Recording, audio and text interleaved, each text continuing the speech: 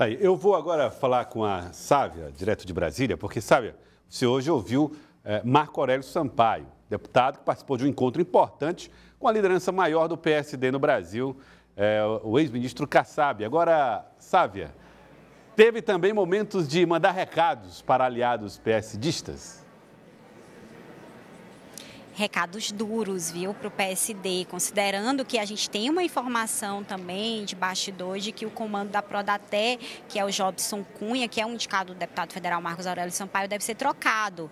E vem justamente nessas semanas após uma movimentação mais intensa do deputado, inclusive com esse encontro em São Paulo, no final de semana com o Gilberto Kassab. O Elivaldo adiantou na coluna dele essa reunião, que teve uma pauta administrativa, pegar ideias sobre o transporte público na capital é, São Paulo, e lembrando que o Kassab é secretário de governo de São Paulo, e tentar trazer para discutir em Teresina a respeito dessa crise do transporte público. Só que tem um lado político, né? A gente lembra que o, o presidente nacional do PSD quer incentivar o máximo de candidaturas nas capitais, candidaturas competitivas. Marcos Aurélio é colocado como pré-candidato a prefeito de Teresina pelo PSD, talvez com apoio aí do MDB. Eu conversei com ele sobre isso e sobre aquela ala do PSD PSD que quer que o partido fique com o doutor Pessoa, ele deu um recado duro, viu, Joelson, para esses membros do partido que não querem candidatura própria. Tive com o presidente do PSD, Gilberto Kassab, lá no Palácio dos, do, dos, Bandeirantes em São Paulo. O presidente Kassab já foi prefeito de São Paulo, então ele sabe de muitos problemas que as grandes cidades enfrentam e que hoje Teresina enfrenta e está abandonada, que é a questão do transporte público. Eu, como deputado federal, como teresinense, fui lá atrás do secretário de governo de São Paulo, Kassab, para que haja essa interlocução. E ele ficou de nos ajudar, de orientar, da gente, como deputado federal, ele como secretário e nós do PSD como partido Partido Unidos, apresentamos soluções para Teresina. É, investimento altíssimo, tem que ter em tecnologia, tem que ter uma conversa com as empresas concessionárias, o poder público ele tem que se abrir, não ficar fechado como está, chamar os sindicatos de cobradores, de motoristas, mas especialmente os usuários de transporte público.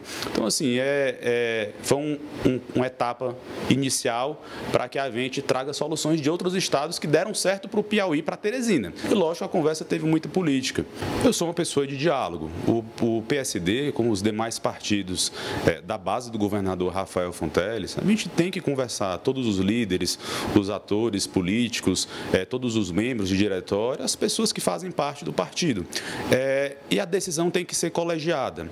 O PSD decidindo de maneira conjunta ter candidatura própria, as pessoas que assim discordarem, que sigam seu caminho, que sigam seu caminho e, e façam sua parte daquilo que acreditar. Mas a decisão vai ser cumprida por todos. E os demais partidos da base, é, do governador Rafael, que é nosso grande maestro é, no governo do Estado, todo mundo vai conversar para achar um entendimento e colocar à disposição de Teresina a equipe para gerir e solucionar os problemas da cidade. Vamos lá, vamos então aos comentários. Começo com você, Elivaldo Barbosa. É, recado dado aos, aos integrantes do PSD também. É, exatamente. O deputado Marco Aurélio Sampaio ele não está para brincadeira aí nesse, nesse debate. Ele já, revelou, ele já revelou com todas as letras, além de recados, ele tem adotado postura de pré-candidato, de abraçar essa bandeira, de viabilizar o projeto majoritário do PSD. É claro que ele enfrenta problemas dentro do partido, ele enfrenta, é, vai, vai enfrentar esse debate interno, porque há outra vertente, não é, Sávia? do PSD, que compõe a base aliada do prefeito doutor Pessoa e que é liderada pelo vereador eh, Renato Berger, que já foi bem claro. Ele disse: olha, se o PSD optar por, pela candidatura própria e pela oposição, sem problema, ele vai sair do PSD. Do, até então, ele vai lutar, buscar manter o PSD na base aliada e apoiar a reeleição do doutor Pessoa. Porém, a gente percebe claramente ganhar corpo no partido, inclusive de outros vereadores, como Ismael Silva, outros parlamentares que têm atuação na Câmara Municipal eh, de Teresina e que e, e até além PSD de buscar exatamente investir no projeto para viabilizar a pré-candidatura de Marcos Aurélio Sampaio à Prefeitura de Teresina no próximo ano. Sabe, detalhe, Marco Aurélio Sampaio fala sobre a possibilidade de integrantes do PSD deixarem a sigla. Mas Marcelo Castro, o senador, disse para você que é Marco Aurélio quem sai do PSD caso a candidatura a prefeito se viabilize. E ele vai para o MDB. E aí?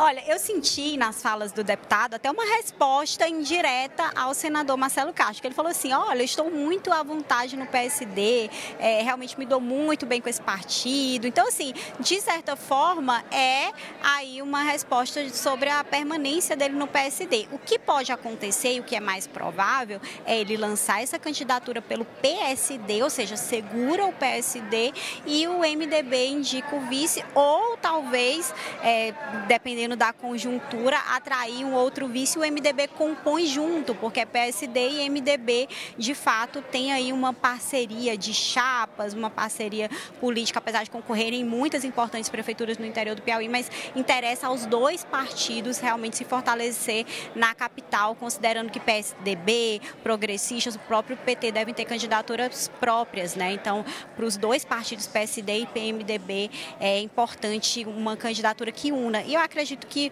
o deputado federal Marcos Aurélio Sampaio tem esse potencial de unir o MDB, partido que ele veio de lá, né, e o PSD, partido atual, que ele está buscando é, realmente enraizar aí as suas é, perspectivas e projeções políticas para o Palácio da Cidade, Joelson. Aí, Paula, muita coisa ainda para ser definida, inclusive se essas candidaturas se viabilizam e por que partidos estarão ou Marco Aurélio Sampaio ou os integrantes do PSD que apoiam a candidatura, por exemplo, de doutor Pessoa. Né? Exatamente. A gente observa nas ações do deputado Marcos Aurélio lá em Brasília, inclusive ele entrando a nível federal, que uhum. é uma cobrança, inclusive, feita pelo prefeito doutor Pessoa, na questão do transporte público. É, a gente divulgou no portal Cidade Verde, numa reunião que o Marcos Aurélio teve no final de semana com o presidente Kassab, buscando soluções. Ele que é, fez vistorias, também visitas na cidade de São Paulo, que tem projetos exitosos exitosos nessa questão do transporte e promete, estuda aí também apresentar uma solução, uma proposta do deputado para essa crise que se passa em Teresina e deve ser o grande tema das eleições em 2024.